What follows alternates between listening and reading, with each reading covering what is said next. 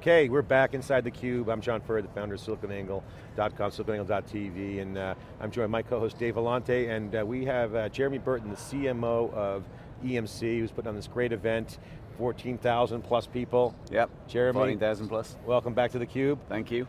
Uh, Dave, we had uh, this week over 120 guests, 32 hours of programming over the week, two terabytes of footage, um, five hosts, 10 C-level executives on the Cube. We got a lot of disks to store here, and uh, so. Uh, well, the Cube's been great, and uh, we started, Jeremy, as you might recall, in 2010 in Boston. Yeah, it's the I first time we had you on, and uh, you had just joined the company. Right. And you, you told us at the time, yeah, we're going to make some changes. You know, I'm big on messaging, and you know, go big or go home kind of thing, and uh, you kind of lived up to your word. I So congratulations on uh, the progress that you made in the last uh, couple of go, years. go big screen or go home. Yeah, yeah, that was, that was the, quite the screen. Are you going to take that back with you? Or? I mean, if you don't have a 400 foot screen, I mean, you're not really in the game anymore. Was that a record? Or? well, I've been working, the company that helps us put on the show, I've, I've been working with InVision uh, Communications for probably, I mean, north of 15 years, and uh, they've never done anything close. So, That's I don't know whether it's some kind of a record, but hey, let, let, let's claim a record until someone comes up with a, Hey, a record bigger- breakers, Yeah. Lego Launch 2. Yeah. Um, it's just a lot of flair, and it's really good uh, to, to see because people are excited, but outside of all the, the flair and all Yeah. the, uh, you know, the, the circumstance around the event, it's, the messaging is great. Um, and we were very complimentary as we always have been, but this year I love how you're expanding on cloud meets big data, you're keeping it simple, you're expanding the, the IT message under cloud, Yep. and big data on uh, business under big data. Um, so everyone loves it, and so people are really recognizing EMC as a big data company. Uh, and the work that we do out in the field in, in the pharma verticals or healthcare, Yeah. um, they're learning what to do with big data. They're like, they don't even know yet what to make of it yet as they try to figure it out. So they Yeah. said EMC is a big data company. I, I, well, I, and I think uh, big data, I've, I, I, I always believed and, and still believe, uh, it's really where cloud was three years ago. So there's going to be a lot of confusion. I think you know, folks like you guys can provide commentary to help clarify what it is and, and what it is not. And over the next you know, year, 18 months, I think there'll be more technology brought to market, there'll be more ideas, and then I think the mist will start to clear. And clearly when the mist starts to clear and there's, you know, starts to be big you know, money involved, um, that, that's when we need EMC to uh, you know, really be recognized as the leader. Um, so I think right now we're, everybody's grappling for position and we want to be part of that, but the goal is to be continue to be a leader when things shake down and then we're in a position to make this a big business. So give me some stats, and I want to ask you what the basic stats are here for EMC World. Then I Yeah. want to ask you more of a strategic question around uh, packaging of the products and how that's evolving, and how your, uh, the messaging sits on, as an umbrella over what's going on internally, Right. and how you're going to shape the next vision. So give us the, the basic stats here at EMC World. Yeah, basic stats, we totally about 15,000 people. Um, I always you know, kind of split this into people we've comped and partners and uh, sponsors and employees versus people who actually paid good money to come. And so people who paid good money to come was right around 9,000. Um, which you, you know, when you think last year, that's up from 7,200. Pretty, you know, um, meaningful jump there. Uh, but overall, show about 15,000 people. Um, exhibit hall is packed about 130 sponsors in there. We have about 3,000 partners, uh, or 3,000 people from partners here this week. So you know, there's a, a really kind of partner-centric um, uh, community uh, that we've got uh, on the exhibit hall floor. Um, we have over 100 press. We have over 100 analysts. Um, you know, really, anyone who is anyone in the EMC ecosystem, I think, has learned to to know that this is the the kind of religious gathering that you you've got to be here. The financial analysts are here as well. Uh, so a little bit of everything, but Data Science Summit too? Data Science Summit is, is kicking off a little bit later CIO today. event? So yes, I forgot. How, dare, how could Partner I forget? conference? Partner conference, yeah. we did that Sunday. Um, so yeah, we've really turned EMC World into a, a kind of a geek, from a geek party to really a gathering for the EMC ecosystem with still with the technologists at the center, which I think is fundamentally important. Yeah, and so we've had uh, and we've had 130,000 views of our content just in two days. We're hoping to get over 150,000 for the three days. Great. Today, so Yeah, well, and, and one of the goals we had was to make this the most social EMC world ever. And part of that was in the build-up, and we, I, think attendance has been good because we got going in the social sphere early. Uh, but if I look at now the Twitter traffic, and I mean the great thing about Twitter is you get immediate feedback on whether you're hitting the mark or not. And I'm pleased to say, at least, I mean I, I follow religiously, you know, on Hootsuite, just as I'm sure you guys do, Yeah. what's going on, and by and large, an overwhelmingly uh, positive sentiment, and, and that's kind of the, the acid test these days, because when people don't like something, man, it's on, it's on Twitter in a heartbeat. You know, I have to ask you though, so a couple years ago, or you know, the, take the cloud big data, that was your first imprint on Mm. Yeah. the big messaging. Yeah. Um, and at the time, it was like, okay, that's good messaging, but now it's translated into actual product and it's got momentum. So Yeah. how do you translate you know, strategy into messaging or messaging into strategy, and how involved are you in that? Yeah, I, I mean, I- it's funny, uh, the industry analysts uh, that I mentioned earlier, I was with them last night and they asked a, a, a very, very similar question. And, and I think as you grow uh, as a company, you, you can get trapped into this, you know, only selling the things that are on the bus, so to speak, and positioning the company for kind of what you have today, because that's what customers are buying. And I, I think um, behaving like a leader, you've got to be able to see where the market is going, spend money ahead of time positioning the company for where the market is going so that when it gets there, you're established as a name and a leader and a player, and then it's about sales execution to get the revenue associated with that opportunity. So, you know, really, we, we, we uh, have felt for a couple of years that this big data thing was going to be huge. The Greenplum acquisition really gave us the impetus to do it and the credibility to tell the story. I think as much as, you know, marketing is one thing, but without substance, i.e. product, marketing, uh, I don't know what the line is, but you know, good, good marketing kills bad products very quickly, you know, and uh, so we had enough substance there, I think, to hang the message off, and then, you know, Pat, as, as from a product standpoint, been a very big believer in big data as an opportunity, and so over time, I think we've assembled a, you know, pretty high quality product strategy to back up that message, and the, the two go hand in hand. One without the other is nowhere near as successful. Right. Yeah, I mean, I- that's where I want to I want to get on the strategic question because it's almost like you, Yeah. it's like a, a relay race. You got to wait for your teammates to catch up. You got out with the messaging, nice umbrella, high, nice arc of, a s- of a story. Now everyone's kind of lifting up. Yep. So uh, what's next? So we have a couple things that we've been covering, obviously from the beginning. The Greenplum, Green Plum, kind of you know sideways a little bit here and there. Becomes big data. They buy Pivotal. Yeah. Okay, really, really a monumental movement for Greenplum. Takes them out from this appliance, weird positioning to really a, a relevant position Yeah. of big data, Yeah. compatible to do, developer focus, centric focus in San Francisco. Yeah. Uh, that was cool. You got the Flash thing going on with XtremIO, Yeah. uh, in memory. All this stuff's happening. How are you going to morph the messaging? What's your view on, okay, you got Flash going on, you got the whole DevOps, pivotal thing going on. Well, I, th- I think what we've got to do, and I think what, what people are ready for is, you know, big data is this umbrella term, and I think we've got to try and stratify for people, look, these are the key use cases for big data. I mean, you know, yesterday in Area 51 we showed the big fast data with the Cetas uh, technology, which is you know, now a part of VMware. That, that is one specific uh, category of application. Um, you know, th- there are going to, you know, there will be many others too, and uh, I think we've identified three or four different use cases, and I think we've now got to go to the customer base and say, um, we've got this technology, we've got this umbrella message, this is how you apply this technology to, to this specific area to deliver value to the people inside your organization, and I feel like the next wave for big data over the next 12 to 18 months, that this is, for me, part of the mist clearing a bit. It's this one, it's this kind of big term that everyone's jumping on, but to continue to be a leader, you need to do a little bit more than have the signpost. Uh, you've got to tell people, look, these are the use cases, this is the technology, this is how you apply the technology to the use cases, sometimes with the services, Pivotal Labs, to deliver something of value for your stakeholders in the business. So one of the things, we were on the big stage up there with Maggie Burke, which was fun to uh, to kind of sit up there and do the uh, you know the warm-up band for Joe Tucci on the EMC TV. Yeah, Um, she asked about some of the things going on in Silicon Valley, and I said, um, and I kind of made a prediction. I said, based on where Jeremy's messaging is going, I think the next pivot uh, pillar will be real time. Do you see real time? Because all the stuff that Yeah. we're seeing is, it's cloud and big data, and then the value proposition on top of big data and cloud is led this movement to real-time business. You guys doing a direct media campaign with Yeah. your own TV, we have the cube, Yeah. analytics, dashboard, is that it's on your Yeah, radar? re real time, it, it's one of those, it's kind of a loaded term, Yeah. right? Because... You can have fun with that. Yeah, well, from a marketing standpoint, it's, one- it's one of these dreamy things. You want everything to be in real time Yeah, if you're yeah. in marketing, right? And the, you know, the shopping demo that we did yesterday, I mean, there's no point in having a big data analytics demo if your text arrives, you know, five minutes too late by the time you've left the store. That, that would not be good. And so I think real, real time is going to be a factor. I think from a marketing standpoint, it's probably got more mojo than some of the other uh, segments or, or less attractive segments of, of big data. Um, and, and there's going to be a number of technologies involved in that as well. I think Cetas is one. I mean, VMware's got a great uh, set of technologies around Gemfire.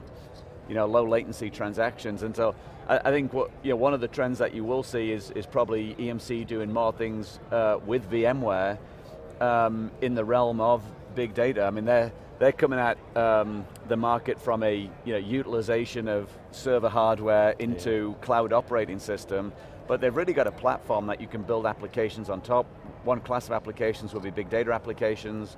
We've got Greenplum, we've got Hadoop, we've got Pivotal, they've got CETAS, they've got um, uh, Gemfire. I think those together we've got to start to look at um, and, and, tell a combined story because we have a lot of mutual customers. Yeah, because yeah. a year ago, you know, you look at VMware, yeah. really didn't have a big data strategy, really weren't talking about it, thinking yeah. about it now. Those pieces that you just mentioned, Maritz talks about going deeper into business transformation, yeah. Uh, beyond just the consolidation, and that's what it's going to take, and then the Cetas acquisition, and now you can start to see the pieces come yeah. together. I mean, VMware have got three clear layers to their strategy. They've got the vSphere core, which is all really the cloud operating system. Right. They've got the access through uh, you know, VDI and the Horizon project that he talked about, but that middle tier, the application platform, um, I mean, things like Cloud Foundry, but then, you know, Gemfire, CETAS, Greenplum, Hadoop, I mean, and, and I think Pivotal been the you know, almost kind of key enabler of building the applications. We, we got to start to look at that as a solution that we can bring to bear on these use cases. So, and you've you know, obviously worked at some software companies, you understand the, the leverage yeah. you get out of developers. Yeah. And clearly that's something that VMware is focused right. on. Do you see EMC increasingly focused on that community? Um, I, I, think we should probably let um, you know, VMware take the lead on it. I, I, I'm a big believer in kind of, uh, uh, guess the term, uh, English term, horses for courses, right? Yeah, sure. RSA yeah. does a pretty good job with security guys. They've got a good brand. We've invested in the RSA brand.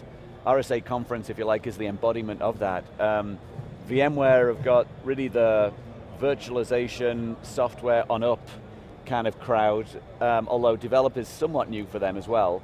And then EMC, I think we do a very good job kind of to administrators and, and infrastructure um, and so I think we've, we've got to pick which kind of arrow in our quiver we want to fire at the given target. And if it's developers, leading with you know maybe a combination even of VMware and Greenplum is probably the right call. And Pivotal is the right course for Pivotal is is Greenplum. Yeah, and, well, and Pivotal are kind of, they're a very small company, but with a high degree of influence because of the great work that they've done. And I think you know that's key when you're you're going after developers. It's about community, it's about influence, it's about great technology, it's about you know word of voice in the social sphere and they've got a lot of that, um, you know, uh, going on, and, and we we've got to leverage that and not try too much to be overbearing from a, you know, big daddy EMC perspective. We've yeah, it's a cultural Yeah, exactly. Careful.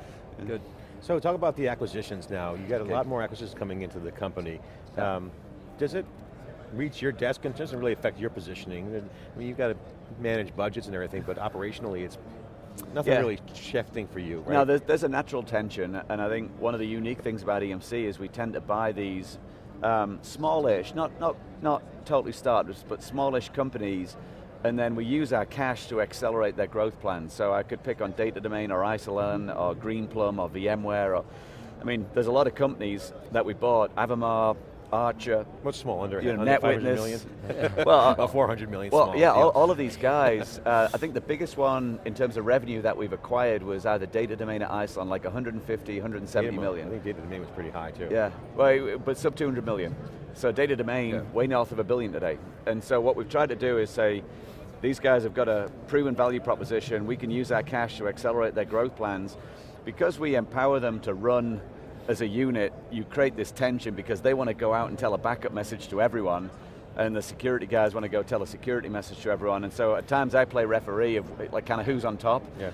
Um, but I have to say, the progress we've made in the last few years, that is generally fairly well natured. Mm-hmm. And when folks come to conferences like this and they see the outcome, they realize like, all right, maybe the fight was a little bit ugly, but at least we did the fight in the back at the office instead of on the show floor. Yeah, I mean, we, Dave and I always talk about EMC, how they transform, and with Pat here, we can't help but go to the Intel, the yeah. Intel, Wintel monopoly with, uh, you know, uh, Microsoft and Intel back in the day, but with EMC and VMware, and the e open ecosystem's evolving. EMC is really becoming an enabler, moving from the house storage. Um, so, how do you look at things like the VC firm? I mean, that, I mean, the VC arm of EMC has yeah. changed. Um, you have new leadership that's from Intel. Um, talk about Pivotal have a lot going on. There's a yeah. massive startup scene evolving around IT right now yeah. with consumerization of IT, which we've talked about many times here in theCUBE. So there's this, there's this real excitement around IT right now. Mm -hmm. And, and enterprise is different business now than it was uh, 10 years ago. Yeah. A lot more investment, a lot more blurring of the lines between yeah. ops and dev and, and, and, enterprise and home and bring your own phone to work. Yeah. So all this disruption is excitement, a lot of investment. You yeah. promote that? I mean, you got a lot going Yeah, I mean, I think part of what we were trying to do yesterday with Area 51 and what we'll continue to do today with, with things like Chad's World is um, show the, the kind of raw technology and the raw innovation that exists inside the company. Um, some of the things that I showed yesterday, they've been, they've been products for a year. Like NetWitness, this uh, almost minority report style examination of everything that's going on on the network, uh, that's a real product that you can buy, yet I'd be willing to bet 95% of people at the conference had no idea that it was even part of EMC. And we have Scott McNealy on later today, by the way. Too. Oh, you do? Oh, a lot. That'll always be unrehearsed, I'm sure. uh, but yeah, I once, mean, once popular, now he's on the cube. well, so, uh, so we get we get into places like uh, we yeah. I hope he doesn't give you the line as, as yeah. my career now. I used to be rich and famous, and now I'm doing oh, this. I know, yeah, yeah. Now he's on the cube. But, oh um, God. But no, I mean, we yeah we get access to the startup world by kind of keeping the startup mojo of things like Greenplum yeah. and, and, and a pivotal. I think when we started VCE, um, uh, there was a lot of head scratching. Why the heck uh, EMC mm-hmm. starting a company to do infrastructure? Isn't that what they do? But I think we've proven that it was a, a, not just the right call, but I'd argue it was a stroke of genius because we empowered an organization to build a converged product and, and that thing's gone from nothing to a, almost a billion dollar run rate in less than 18 months, yeah. which is just well, staggering. And, and we, we, think the numbers are going to come back and change higher. We think yeah. the feedback we're hearing from customers, and at, especially at SAP last, or last yeah. week, uh, was huge feedback. Customers love it. I mean, it's... Yeah, the SAP, uh, I want to ask you about that before I do. So the, uh, we had uh, Capellas on yesterday as well, and you know, you clearly, you, you, you talked about VCE, mm -hmm. and you're right, out of the chute, and Capellas even said, probably made some mistakes, the Acadia yeah. thing, services, yeah. but you got a three-year lead on IBM, yeah. who just came in and validated the entire concept. Well, you know what happens as well? Startups make mistakes all the time, right? And yeah. but, the only people who see Nobody those mistakes knows. are VCs. yeah, right. And then you know, if, if, if, the mistake's really bad, you know, the CEO gets whacked and a new one comes in, and the VC's the bad cop. And the thing is, you, you're under such a spotlight at a big company, and this is why a lot of big companies don't bother because it's such a spotlight you get pressure from outside, you get pressure from inside, and a lot of these things just crumble under their own weight because the, the, the mothership, in their desire to help, crushes the small organization within, within the big company. And so I think splitting this thing out and you know, Joe kind of giving them some space to run, uh, and, the, and, by the same you know, token, know, John Chambers on the Cisco side, I think it, they, have let this thing make mistakes and now develop into something that is a, a, a, real force to be reckoned with. So I want to ask you about SAP because that seems to be the partnership that is, yep. has a shining light right now. Uh, yep. And it's not just an enemy of the enemy. I mean, but maybe that's how it started. the enemy of my enemy is my friend. But it's, but it's, uh, but it's evolved to more than that. We had Jonathan Becker on last week. All right. And, uh, he's been yeah. on a couple he times. He said he called you. You guys had a conversation. Yeah, yeah, yeah I so, talked to Jonathan, yeah, good guy. You know, you guys, I mean, we really have a lot of respect for what you've done, and I think it's a perfect match. I mean, mm -hmm. SAP, it's all suits, a lot of C-level executives at the event. They yeah. don't really you know, they don't compete with you in infrastructure, yeah. you know, unlike, you know, Oracle now. And so, mm -hmm. sort of an interesting dynamic there, a lot of possibilities for that. There, there is, and um, you know, it, it's very interesting how this, as tech has converged, and there's, I think Joe calls it a game of chess going on, um, how do the partnerships then develop? I mean, we've always had this belief that you need friends. Like, you never met a single customer that wants to buy everything from, from one person, so you need friends. I think Cisco, clearly a friend, and then in VCE, if you like, is the embodiment of our friendship. And then going to someone like SAP, that a lot of their guys, they don't care so much about infrastructure, but if we can go to the SAP guys and say, look, less complexity, total cost is lower, that, that strikes a big chord with the SAP crowd because historically, that's one of the things that they've struggled with. And I think you know, the vBlock can eliminate a lot of the friction in the infrastructure. So it's a natural partnership, we don't compete, and you know, you take that then, the, you know, the HANA um, uh, push, uh, it needs persistent storage. It's an in-memory database, but you need to persist everything that's in there. Again, it's a natural play for Even storage. though their CEO really doesn't understand that. Yeah. No, I'm kidding. so we have, no, no, friends with Bill McDermott. So, so we, he uh, gets it. But. So I actually had a chance to meet with uh, Hasso Plattner at the um, the briefing, um, yeah. little networking, you know, communications yeah. session. Um, I had talked with Bill McDermott and Snabe, yeah. and um, get your opinion on this because uh, Jonathan Becker was kind of in our camp as well. Yeah. Um, so I said to him, I said, guys, you have a really strong big data story. They got HANA, yeah. they have in-memory, yeah. they have mobile, they're showing analytics. I mean, they actually got product yeah. that's really delivering that, not just a software company, but that value, yeah. that they're, they're actually presenting value. And so I asked uh, Snabe directly, I said, why aren't you going big data? Yeah. I mean, I said, EMC's out marketing you like left and right because they just, it's so clean. You have big yeah. data right here. He says, um, big data's hype. Bill McDermott yeah. kind of wasn't following it, and Jonathan Becker saying, "Hey, you know, we think we do have the best big data story." you know, so how do you how do you yeah. talk to those guys and say, you know, you know what's interesting though? you know, you know what's interesting though is SAP, their, their audience is business applications. Uh, you know, so the head of marketing, the head of human resources, the head of finance. And I think they're very adept at talking business value to business executives. Yeah. Whereas we're more of a scrappy technology company, and so big data is kind of a big tech trend that will be applied to the head of human resources and the head of finance. And so I feel like their natural motion is to talk business value to business people, whereas our natural motion is to follow the tech trend, which is why I think we're on it a little bit earlier. By the way, I think they will absolutely get there. They're all over cloud right now. Yeah just a little bit later, and I think yeah. they'll get to big Oracle data buys well. Ariba just to counter SuccessFactors just yesterday, I don't know if you saw that. I did. I think I, I, have a different take on it. Yeah. When we interviewed you in the first year, um, I think just being humble, Dave and I were talking about, this is Jeremy Burton, oh, Veritas, oh, be aggressive, aggressive marketer. Risks have rewards, yeah. right? And you kind of been a risk taker in your career. Not right. heavy duty risk, but bold moves. Yeah, try to. Yeah. You know, get rewards. I think going to cloud meets big data was a bold move. Um. I'm, I'm sure you feel that way. So yeah. I don't think SAP is that bold. They're conservative. Yeah, more conservative. But I mean, that, that, but I think that's a reflection of the people who they market to and sell to. You know, your head of finance is typically not a reckless, risk-taking kind of guy, yeah, yeah. and you don't want him to be. Yeah, yeah. So uh, but, but I think Jonathan can have an impact there. I mean, he's a forward-looking guy, great. and I think uh, you know he'll have an impact without a shadow of a doubt. So, what's your next bold move? I mean, um, I mean, you take good, calculated, bold chances, and the, and the payoffs are high. Um, what's your um, next bold? You know, I'm ex I'm excited about where big data is going. Um, as you said, real-time analytics, there's a, there's a lot of road ahead of it there. Uh, I'm excited with the work that we're doing with Cisco and converged infrastructure. I think that is going to get um, you know, bigger and bigger. Um, I, am a big believer in, you know, if you want to know what's next in enterprise, look at what's going on in consumer. Um, there's a little acquisition we made in the IIG team called Syncplicity, um, which I think is a, is a sleeper. I mean, that is a very small acquisition, but I think we can do great things with it. And yeah, there's a lot of big data. Apparently something ridiculous like uh, two thirds of all the objects on Amazon S3 come from Dropbox. Public sync and share.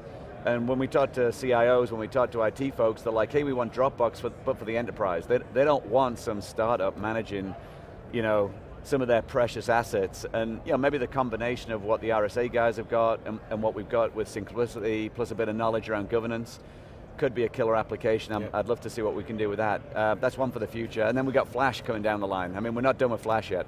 Yeah, I thought yeah. Pat Gelsinger, we are going to talk to Pat about data, but I was talking yeah. to some folks who do a lot of cloud sizing, and they said yeah. that if the data pace keeps growing, Amazon's model will break because mm. you can't just move data around. The I.O. involved within Amazon is interesting. It's like, okay, yeah. that for startups it was once you go to Amazon for this, but now uh, in the quote big data space, having big data sit there, actually it's not economical. It's about the mass and viscosity of data, as I'm sure Pat will tell you. So we're going to talk about it. Okay, Jeremy, right. thanks for coming on. We really appreciate guys. your hospitality. Jeremy Burton, rising in the marketing ranks in the industry. Great job here at EMC. Uh, we'll be right back with our next guest, Pat Gelsinger, right after this break.